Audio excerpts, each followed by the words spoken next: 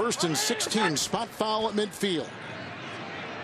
Gilliam trying to give a block the fullback. Going deep downfield. Intercepted. Picked off by Austin, the former Bill. Alex Austin, a rookie, gets it.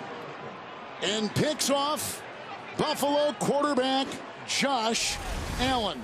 First interception. A turnover right there.